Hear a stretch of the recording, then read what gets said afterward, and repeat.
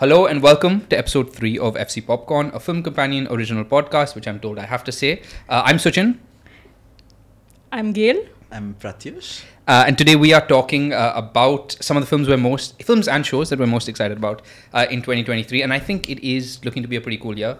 We have uh, new Salman Khan films, new Shah Rukh films, new Zoya films. Salman Films. Fil- Plural? Do we have, is it not plural? Isn't there? It's just like one, right? Oh, we'll find out. Ki That's, that's going to be on your list anyway. So, um, and uh, most importantly, we have Cocaine Bear, which is the only reason I'm here today to discuss Cocaine Bear. Uh, but yes, we all have our lists of our topics for the year, things we're most excited about. Uh, Gayle, we will start with you. First pick to you. Uh, so, to anyone who knows me, this will come as no surprise. The number one movie I'm most looking forward to is Oppenheimer. That's what I guessed. you knew this was coming. I thought it would be the Salman Khan film, honestly. Sorry to disappoint you. films, film, sim- sorry, singular. Uh, yeah, Gayle picks no. In a year with just one Nolan film and many Salman films. So. yeah, so to me, whenever I think about the big screen theatrical experience, the images that I always think about are the wormhole scene in Interstellar or the city folding in on itself from Inception. Um, I'm a huge Nolan fan, which I think everyone knows by now. I used to have countdowns to his movies. I'm really excited about Oppenheimer, which um, is the story of the Manhattan Project and how the atomic bomb came to be. Uh, that's my number one pick. Yeah. Is uh, genuine question because I, I don't know much about it apart from the fact it's Nolan. Mm-hmm. Does it look like a m- like a Nolan in quotes blockbuster movie or more like a Dunkirk subdued smaller film that's big only because he's mm-hmm. making it Dunkirk was subdued and small. compared to I mean his other stuff where it's like designed for like the massive popcorn mm. experience. Mm. Dunkirk was mm. a Nolan indie film as much as you can. I yeah, I don't think No? Dunkirk was. No, to me, that it was, he was still messing around with time. He still had the big set pieces. But yeah, when I think about Dunkirk, I think about the smaller moments Yeah. on the mm. boat, things like that. Yeah, so it- yeah, in a way, you're I think what I meant was less mm-hmm. spectacle. Dunkirk to me was massive, but I don't think of it as spectacle as, as I do like the other Nolan mm-hmm. films.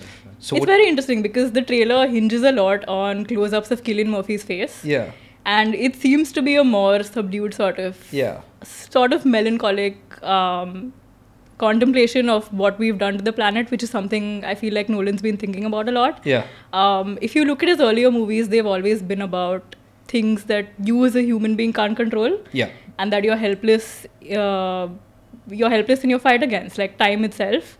Uh, but over his last few movies, I feel like he's been thinking about the planet as a whole. Like when you think about Interstellar and the blight that's devastated the planet, when you think about Dunkirk and how you get that ticking clocks uh, sort of time element, where he's really thinking about how close we came to like another war and Yeah. how that could have gone on.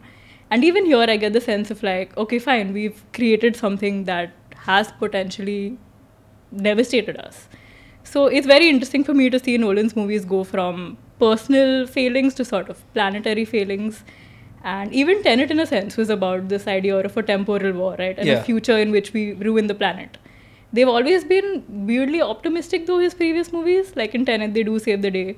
Dunkirk also has an optimistic ending. I don't know if he'll do that with Oppenheimer, which is what I'm interested to see. So Nolan is making a James Cameron film. It's all about hugging trees. Got it. Uh, that makes sense. No, it looks really cool. It does, it does. Uh, Are you going to do a countdown to a film? We're going to do a countdown to the film. Uh, when are you going to start? Today? Tomorrow? Hmm. yesterday. How? a year ago. I feel like also at this point, Oppenheimer and Barbie are inextricable. Like it's a given double bill. So we're just clubbing them together. Barbie was on my long list. I have to Yeah, say. right? Yeah, yeah. Uh, so no, somebody had to say Barbie. Uh, What Mm-hmm. is that on your not? didn't uh, no, it was on my list of like films that definitely wo- need to be mentioned, even if Mm-hmm. they're not on our direct top three. Uh, next pick to you, Prathyush. So I am really excited by Pedro Almodovar's uh, gay cowboy film Strange Way of Life. It's going to premiere at Cannes in May. With it stars Pedro Pascal, and Ethan Hawke. Uh, I mean, a gay western short film. Almodovar. I mean, it's a no-brainer because for me, when I joined Film Companion in 2019, I knew nothing about world cinema. And I remember the first ever Mami in 2019 that I attended. I had no idea who these directors were. But Mohini, who was the associate editor at the time, told me that you have to watch Pedro Yeah. Almodovar's Pain and Glory.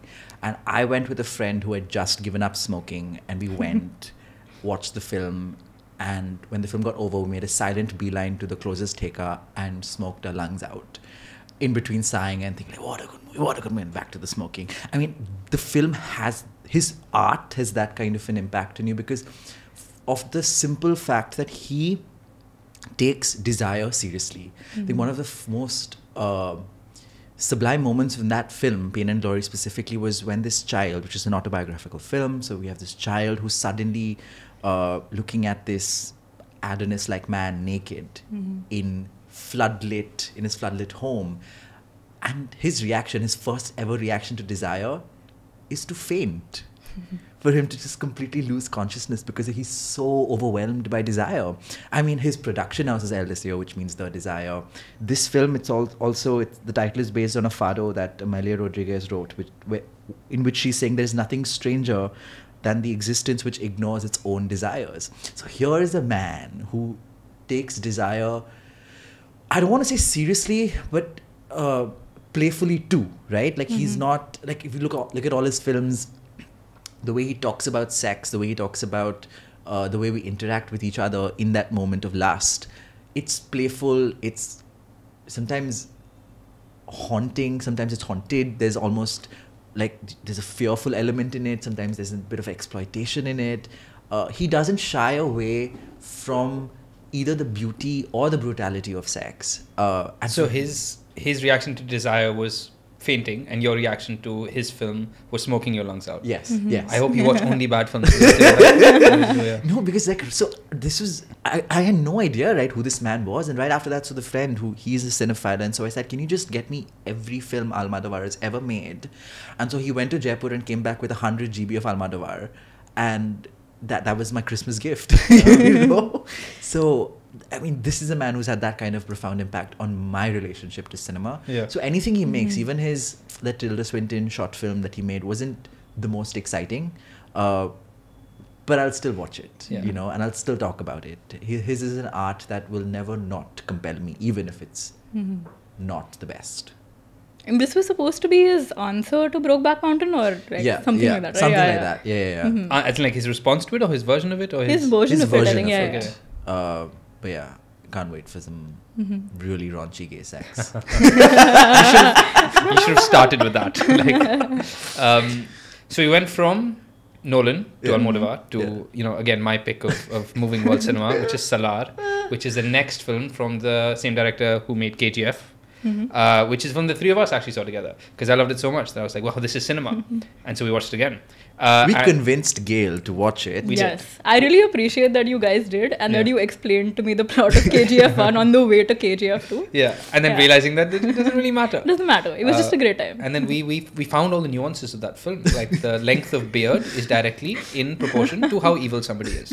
Um, no, but I'm genuinely excited for Salaar for a couple of reasons. So I know nothing about this film. I don't think we know much about it anyway, but that's enough. So it's the same.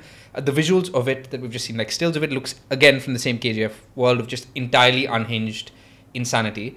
Um, and just like a massive mass movie. Uh, it stars Prabhas, who has not been good in any film f- ever since Bahubali, I think. Uh, and hopefully this is his like comeback. Um, and uh, and it is technically a Telugu film. Uh, and the only other thing we know is Prithviraj plays the villain in it. So we've literally just seen two stills of it. But I'm I'm all in. I just I just want I need my like share of mm-hmm. that insane unhinged cinema. So I can't wait. Remember when we were watching KGF at the interval? I was very nervous because I was like, what is mm-hmm. Gayle going to think? Yeah, yeah. Not just about the film, but Yeah. about us Yeah. bringing her to the film. And so during the interval, I just looked at her and she was like, the film slaps. Yeah, yeah. And I was like, this is the best It did moment. But then it's nice to know that it's not just us. You know, there must be something in that. And you just said it's one of the most insanely entertaining films ever. Mm-hmm. So like, uh, no, I can't wait. I, I will just... happily accompany the both of you to KGF.